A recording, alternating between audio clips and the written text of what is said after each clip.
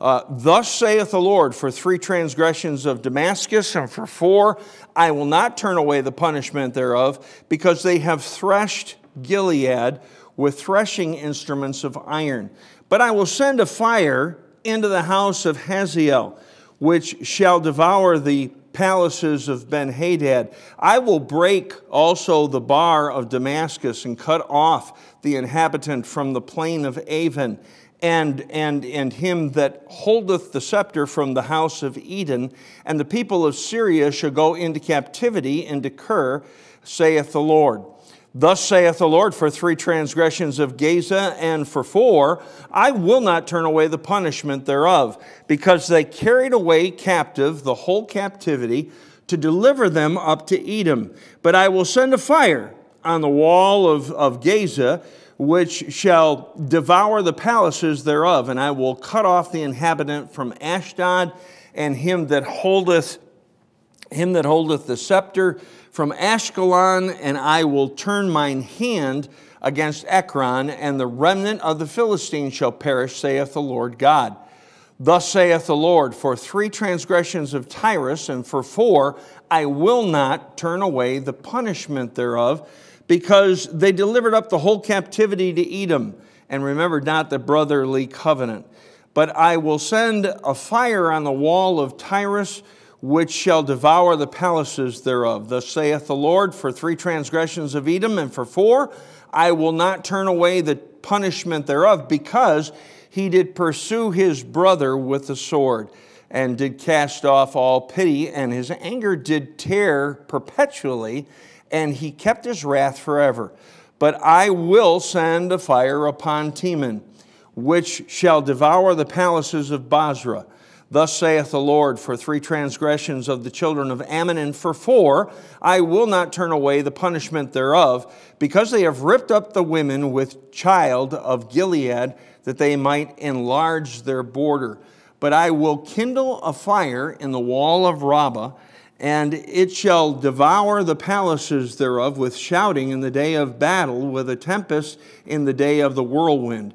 And their king shall go into captivity, he and his princes together, saith the Lord. Let's bow our heads for prayer. Father, it's good to be here tonight. It's good to be here in your house with your people, with your word, and with the Spirit of God bearing witness to the things that are said and done tonight we're, we're, we're just so thankful that you love us, that you care for us, and that you gave us a book.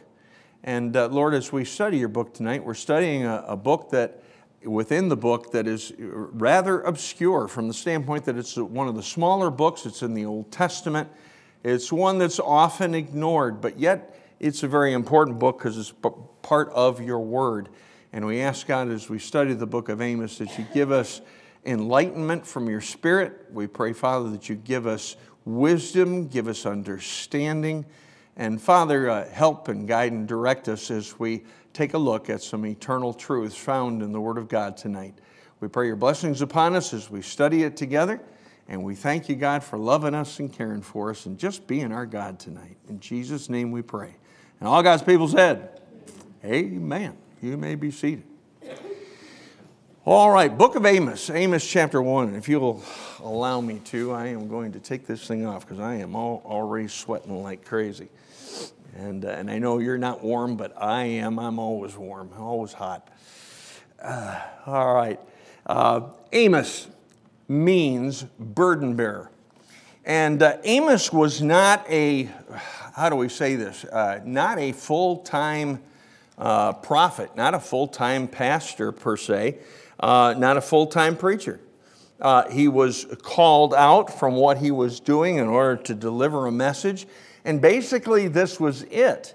And you know, you don't hear much about Amos other than the book of Amos itself. But again, his name has significance because it means, means burden bearer. Well, he had a burden that he had to bear.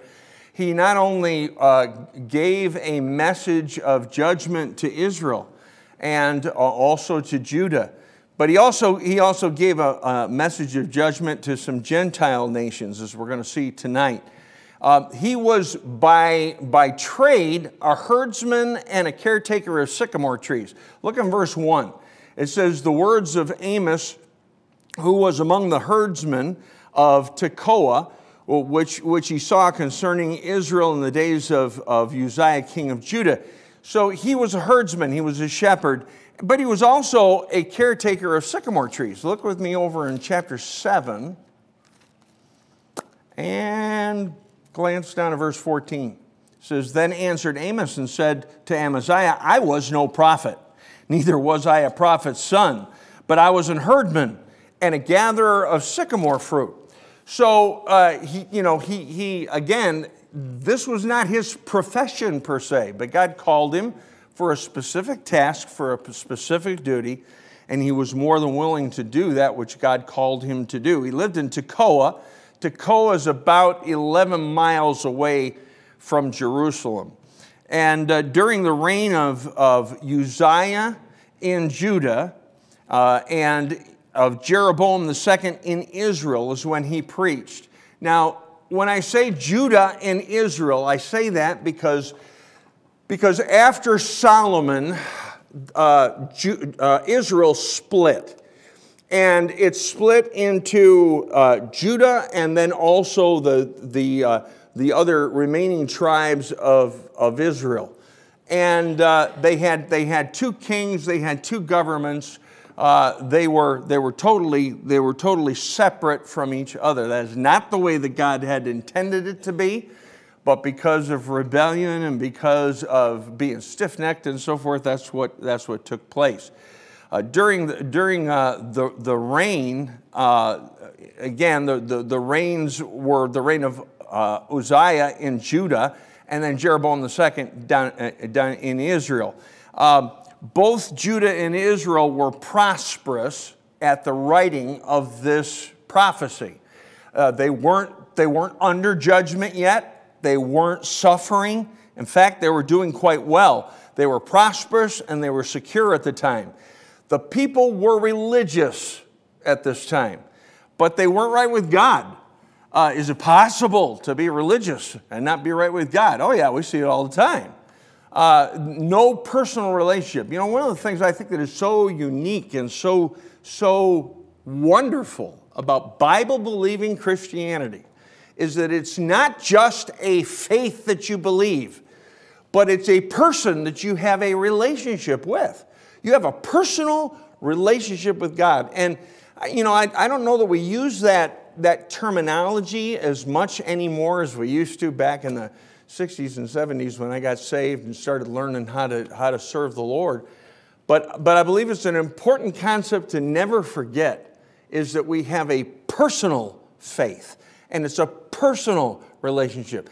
The, the night that I trusted Jesus Christ as Savior, and, and uh, uh, Dave Corey uh, taught a lesson, I believe it was Sunday school, right? That you taught on the, do you remember what you taught in Sunday school? about, about all things that happened when you got saved. And, uh, uh, you know, he only, he didn't even hardly touch the hem of the garment that, that day. And he couldn't because there's so, so much to, to talk about. But uh, uh I have looked at verses and, and, and uh, verse after verse after verse of various things that happened the moment I got saved. Now, when I, the night I got saved, I thought I just got saved. I thought that was it, but I got redeemed, I got sanctified, I, I was uh, uh, given a place in, uh, in, in, uh, in the heavens, uh, I was given a mansion, I was born again, and on and on and on it goes. And all of those things have personal implications. Uh, and, and salvation is a personal relationship with, with the Lord Jesus Christ. Now, what had happened to these people is they just got religious, and the, and the, but the, the, the individualism and the personal part of it uh, just went by the wayside. And they were religious, but they weren't right with God, and they were still in their sin. They didn't let it affect the way that they lived. And the sin was destroying the moral and religious foundation of, of uh, both Israel and of Judah. And make, things like making money was more important than doing right. Let me show you what I'm talking about. Go to chapter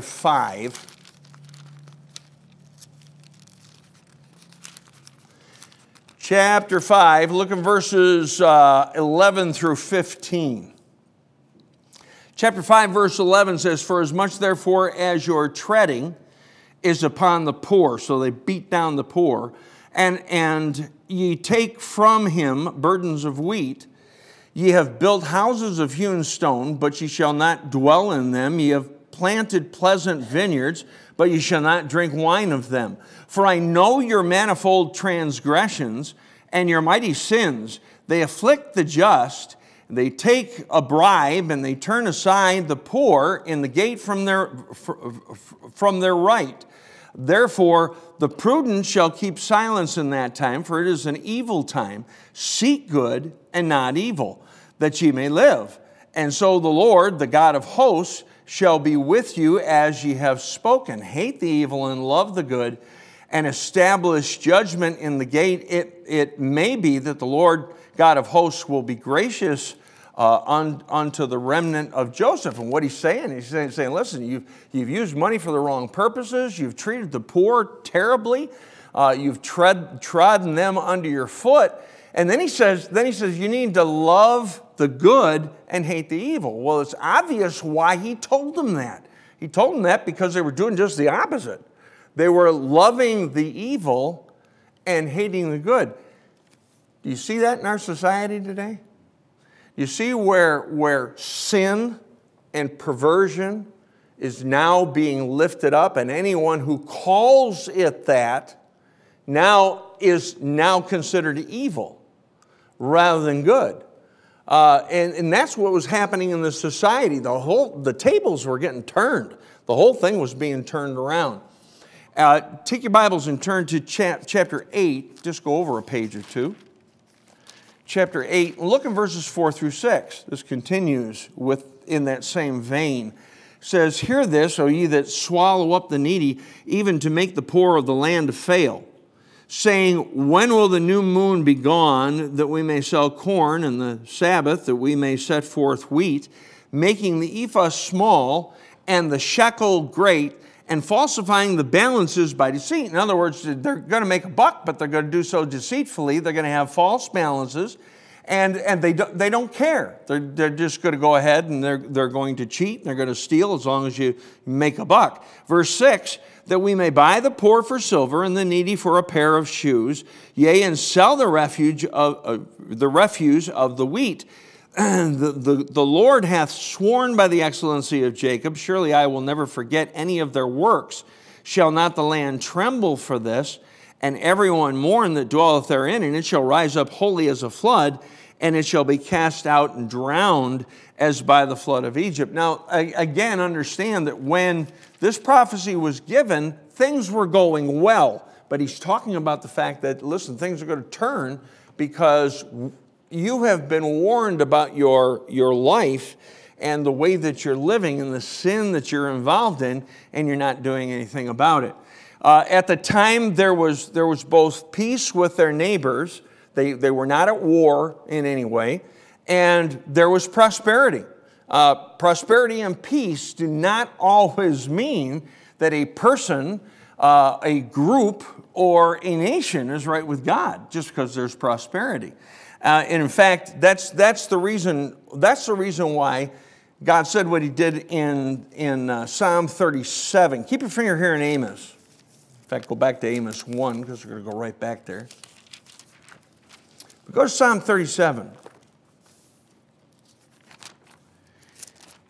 This is one of the, Psalm 37 is one of my favorite Psalms. And it's, it's because I, some of it is obviously because of the content, but the other part of it is that it was one of the first Psalms I really got familiar with early in my Christian life. And, uh, and I really, my heart really got endeared to, to uh, Psalm 37. But look at the first two verses.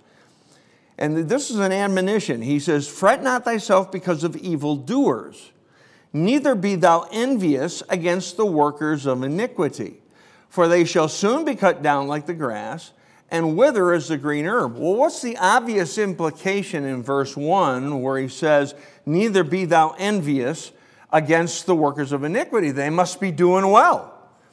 Just because they're flourishing does not mean they're right. Just because they're flourishing doesn't mean that what they do and what they believe is good. Uh, it, it, you know, they, uh, you, can't, you can't go by that. And uh, whatsoever a man soweth, that shall he also reap. He goes on to say in verse 2 For they shall soon be cut down like the grass and wither as the green herb. So that does not last forever. And uh, he, was, he was admonishing them that, you know, don't go by just what you see, because what you, what you see is not always a fair picture of what's really going on in people's hearts. Amos was called to be a prophet while he was working as a, as a shepherd, as a herdsman, and as a farmer.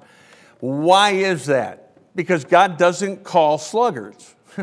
God doesn't ask people who are doing nothing to do something for him. He, he looks for people that are busy. He looks for people that are working. You know, the Bible says in the, in the New Testament, if a man doesn't work, neither should he eat. Uh, there's a real premium put on work in, in the scriptures. And, and uh, God called him to, the, uh, to the, the office of a prophet for a short period of time, just simply because he was already faithful with what he was doing. He was faithful with his sheep, he was faithful with his, with his sycamore trees. And God uses people who are already doing something. He uses workers. And, and most of the prophecies in this book as, as Amos gives them, most of the prophecies are aimed at Israel. Now, I, I found uh, one of the sources I am using in studying for this study is uh, a book on the minor prophets by Brother David Cloud. He's the guy who authors the uh, Friday Church News Notes. And uh, he has got an outline that uh, he has uh, put together that is really good. I read through it and uh, really just, just got a blessing. It's just a, a quick, you know, one sentence explanation of, of passages all the way through, starting in verse 1, uh, actually starting in verse 2 of, uh, of Amos chapter 1, all the way down to the, the end of the book, which is Amos, Amos chapter 9. I want to read these to you. And as I read them, I want you to take some mental notes. In fact, if you got a piece of paper and a pen, I want you to, I want you to jot some things down. Um, I want you to, to listen for, and I'll read it down, I'll read through the list twice. I want you to look for qualities of God that stick out. In other words, through this explanation of what's in, what's contained in the book of Amos, what, is the, what, are the, what does the book of Amos tell you? It, what is it going to tell us about God? Okay? You follow me on that? Okay, if you don't, maybe you will the second time through. Let me get started. Amos 1 2 through 2 3 prophecies against Israel's enemies. Chapter 2, verses 4, 4 and 5, indictment of Judah. Uh, chapter 2, verses 6 through 16, indictment of Israel. Amos 3, 1 through, through 8, God's further indictment of Israel. Amos 3 9 through 15, Israel's oppression and God's judgment. Uh, Amos 4 1 through 5, God's warning to the upper class women of Israel. Uh, Amos 4 6 through 13, God describes his efforts to bring Israel to repentance. Amos 5 1 through 3, God laments over Israel. Amos 5 4 through 15, God beseeches Israel to repent. Amos 5 10 through 13. God returns to his indictment of Israel. Amos 5 14 and 15. God beseeches Israel to do right. Amos 5 16 through 20. The day of the Lord. Amos 5 21 through 27. God's calls for righteousness and warns of judgment. Amos 6 1 through 6. God warns those who were at ease in Zion. Amos 6, 7 through 14. God pronounces judgment. Amos 7, 1 through 9, three visions of judgment. Amos 7, 10 through 17, the prophet's dealings with the priest of Bethel. Amos 8, 1 through 11, or excuse me, 1 through 3, the uh, basket of summer fruit. Amos 8, 4 through 10, God's approaching judgment on the oppressors. Amos uh, 8, 11 through 14, the famine of hearing the words of the Lord. Amos 9, 1 through 10, God's judgment on Israel announced. And then the last one is Amos 9, 11 through 15, Israel's restoration. Now, as I read through it again, I'm just going to read the titles. I'm not going to read the references, all right? Prophecies against Israel's enemies, indictment of Judah, indictment of Israel, God's further indictment of Israel, Israel's oppression and God's judgment, God's warning to the upper class women of Israel. God's, uh, God describes his efforts to bring Israel to repentance. God laments over Israel. Uh, God beseeches Israel to repent. God returns to his indictment of Israel. God beseeches Israel to do right. The day of the Lord. God calls for righteousness and warns of judgment. God warns those who are at ease in Zion. God pronounces judgment. Three visions of judgment. The, the prophet's dealings with the priest of Bethel the basket of summer fruit. Uh, God's approaching judgment on the oppressors, the famine of hearing the words of the Lord, God's judgment on Israel announced, and then last of all, Israel's restoration. All right? What, what qualities of God stick out when you hear those descriptions of those passages? Give me some qualities. Some qualities of God. Leah. He loves us so much that he judges us. He's just not a God of love, he also has judgment. Okay. He's not just, you know, and you say, and I know what you mean when you say that. He's not just a God of love, but he's a God of judgment. But a proper God of judgment is a God of love. Um, I remember years ago, there was a, um, there was a book that was written about child discipline. And the book had a cover on it, and I'm not going to be able to do justice to the drawing, that's for sure, because I can't draw for nothing. But it had, it had uh, a balance scale.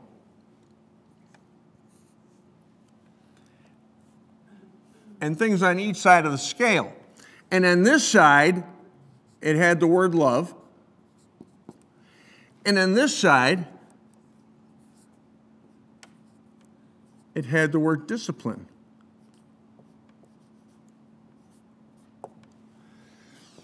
And I, understand what the author was trying to get across. He was saying that, listen, you can say you have love, but if you don't discipline, it's not going to be balanced.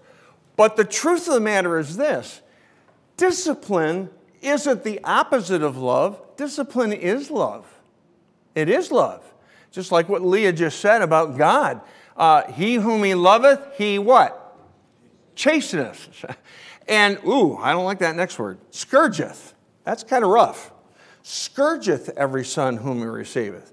And so what, what God's saying is, is that if you really, if, you, if I properly love you, when you get on the line, I'm gonna, I'm gonna do something. And he loved them enough to go see them about it and confront them.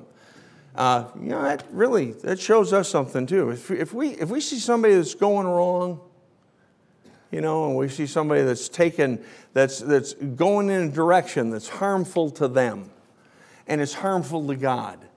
And, and, and we don't say anything. We don't try to help them. You know, do, do we really care for them? You know, and, and the, the truth is, uh, love acts. Love does something when, when something is wrong. And because something was wrong in Israel and Judah, God acted. He, he, he uh, went ahead and stepped in. Okay, what else? What else is, yeah, Titus. What does it tell us about God? Tells us that he gives you time to repent. Okay, he gives you time to repent. What do we call that? If he's, if he's waiting and giving us time, that means he's very for, okay, he is. He's forgiving and he starts with a P. Patient. Patient, thank you. okay, he's very patient. Okay? Uh, and, and he, he wait. Now, again, he's patient to a point. And when it comes to that point, then he says, enough is enough. In fact, Um, one of the things I wanted to bring out to you, and we, we will as we go through it, uh, but if, if you look with me, let's see, go to verse 3 of chapter 1. And he uses this term in one form or another several times in this chapter. Says, Thus saith the Lord, for three transgressions of Damascus and for four, I will not turn away the punishment thereof. Now, he's not talking about three literal transactions because of because you've gone past three and gone to four, I'm coming down like gangbusters. That isn't it that's a saying that was used back then. And basically, what it meant was, you've gone too far.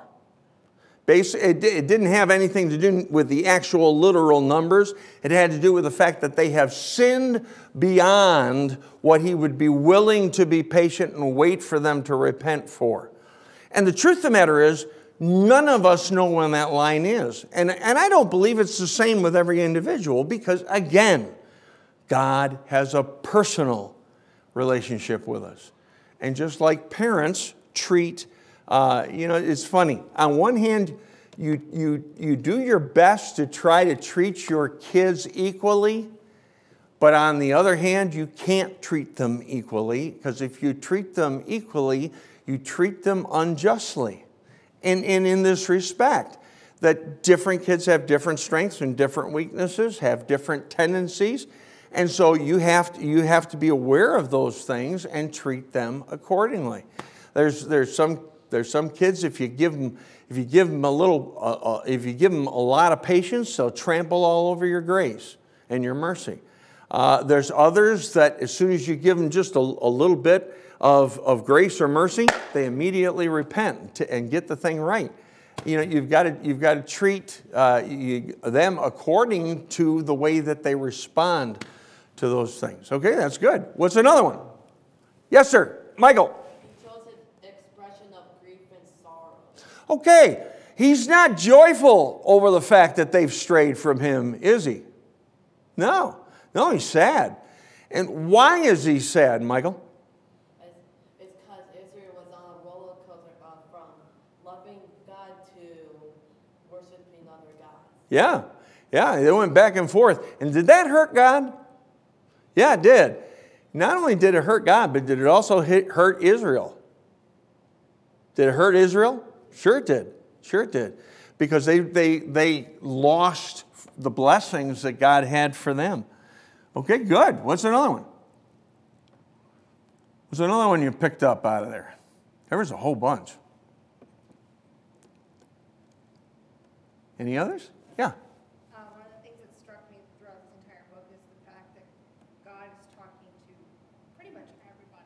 mm-hmm. entire book. So he's talking, unlike some books of the prophets where he's talking to one group of people in one kingdom, he's talking to Judah, he's talking to Israel, he's talking to the Gentiles, he's talking to women, he's talking. So God is That's good. equally just. He is, he, was, was what you were saying also personal, but what he says applies to everyone. He, he doesn't exclude just because, oh, I don't to this certain people, so I'm excluded he includes everybody along with his justice as well as, well as with his love. In the New Testament, that's called uh, the fact that God is not a respecter of persons, right? He doesn't, re- he doesn't respect one group over another group. He didn't care whether the women were of, of uh, high society. He still needed to talk to them. He didn't care whether it was Judah or it was Israel. He had to talk to them. He didn't care if they were heathen or they were not. He had to talk to him. He had to approach him. He had to confront him. That's good. That's excellent. Okay, what else? Any others? Okay, let me give you some of the ones that I picked. Um, he was protective. He's, it shows his protection. He's very protective of Israel. Um, yes, he, he loved, it, loved Israel. He, yes, he was sad that they went into sin. But the reason why he was sad was because he wanted to protect them. He didn't want them to have to go through the judgment that they were about to go through. And the other thing about it, too, and he, we've all kind of alluded to this already, but he was very stern and plain in his rebuke. Uh, he didn't mince words. And, and it's, again, because he cared. Uh, Bible says over in the book of Proverbs, open rebuke is better than secret love. Uh, in other words, it, open rebuke is a good thing. It's not a bad thing. Now, nobody likes to be rebuked. I know I don't like to be rebuked. Uh, but but uh, it's often necessary uh, for rebukes to come, and when they do come, it's good to know they come from somebody who cares. Uh, he, uh, he loved Israel not even, not, not only when, you know, Michael talked about the fact that Israel was on a constant roller coaster back and forth, when it loved God, then it serve other gods, it loved God, and then serve other gods. But you know, no matter which state they were in, he still loved them. He didn't just love them when they loved him, he loved them even when they didn't love him. Um, he was consistent and he was sure in his judgment. And uh, uh, he, again, didn't, didn't hold anything back. And then, then last of all, and this, this goes to the, the, last, uh, the last thing that I read, was about the restoration of Israel. Did you ever notice how often, even in the middle of rebuke, even in the middle of speaking of judgment, even in the middle of talking about the, you know, the wage, like, like, like the verse, the wages of sin is death. That's an awful verse. You say, you say, what do you mean, an awful verse? Well, it tells you what sin, it's awful because of what it says. Uh, the wages of sin is death. That's, that's a terrible thing. But it always is true. Aren't you glad that that isn't all he said in the verse? Aren't you glad he didn't just say the wages of sin is death, period? No, he said the wages of sin is death, but the gift of God is eternal life through Jesus Christ our Lord. And, you know, he, he's, he's very forward and very plain and very black and white when it comes to the judgment, but he's also always offering hope and always offering a cure. And, and that's our God. That's exactly what He does.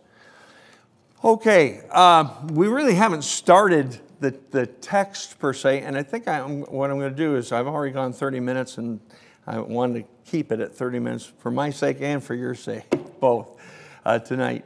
And uh, next week, again, we won't have a regular service, but we'll have a service a, a week from, or two weeks from tonight. And uh, we'll, we'll continue, we'll actually get into the text and begin. And if you haven't already, just for yourself, read Amos chapter 1, let me encourage you in the next two weeks to read it.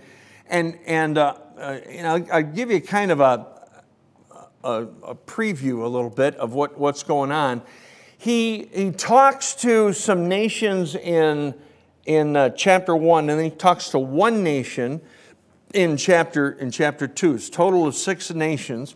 They're Gentile nations. And he talks to the Gentiles first. And he lets them know about the judgment that's coming. And it, the judgment's coming because of two things. Number one, their relationship or lack thereof with God. But then also, number two, the way that they've treated Israel. And uh, because God made a, a, promise that He would bless those that blessed Israel and He would curse those that cursed Israel, and He's kept that promise even to this very day. All right, get out your prayer list if you would tonight.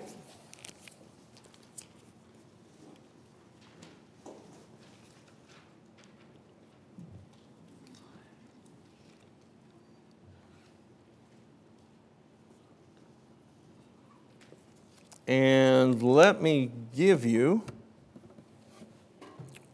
one to add to it. I got, uh, most of you know who Jacqueline is, Jackie. She, um, she uh, uh, texted me earlier today, and she said last night she started to have some, some things going on with her body that, that just has never happened before.